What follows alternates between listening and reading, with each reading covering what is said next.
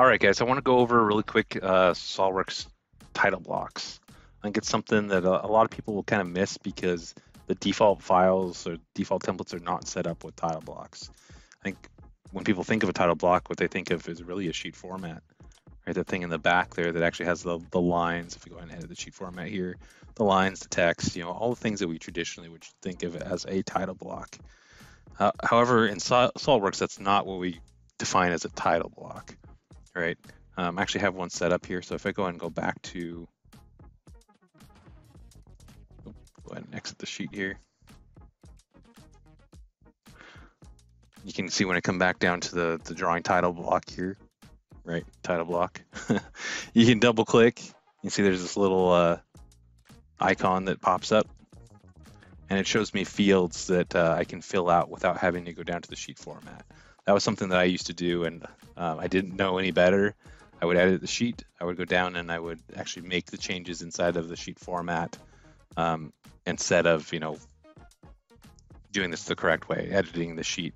Uh, sorry, editing the title block from here, filling out my my values. The nice thing with these is that they can be linked to properties, right? So this is like the description from the model that's on the sheet, right? This is the uh, part number from the model that's on the sheet.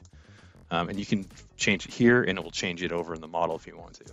And these are really easy to set up, right? So um, if I go back to like my default here, um, my default sheet format, let's just open one here. Let's get like our B size sheet format.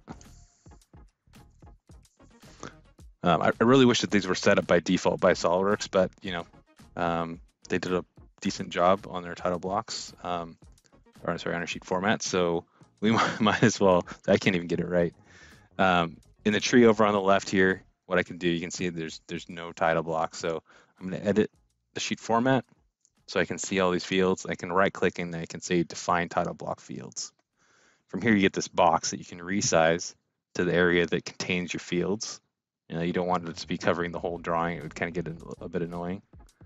And then you can start selecting and like collecting the fields that you want to be able to fill out easily, right? So, you know, some of these things might be coming directly from the model and you don't want to necessarily change them from here, like material. But maybe finish is just something that you're typing in anyways. Might as well make it easy. And, you know, if they fill it out in the drawing, it would show up here, or sorry, here.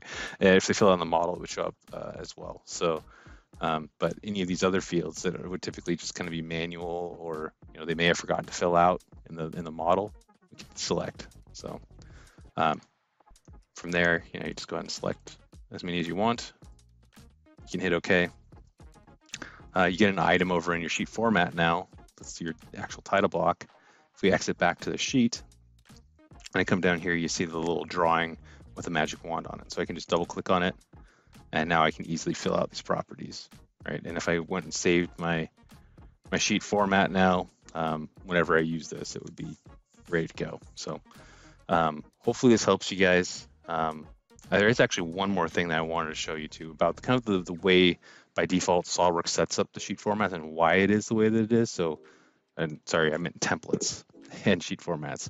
So when you start SOLIDWORKS for the first time and you get uh, your default drawing, right, you can see it doesn't have a sheet format on it. And the reason that is, is because of the selector, right? If you're using different size drawings and stuff all the time, and you want to be able to choose between these, um, it just makes it really easy to come in here and say that I want my, my B size or change it to a C um, instead of having, you know, multiple template files. And the, the problem with having multiple template files is that you have to manage multiple sets of document properties to try to make them the same, right? If you have one template, you can make those settings the same throughout. So um, if, if, you do want those different for your different sizes, then by all means, make multiple templates. So uh, hopefully this helps you guys.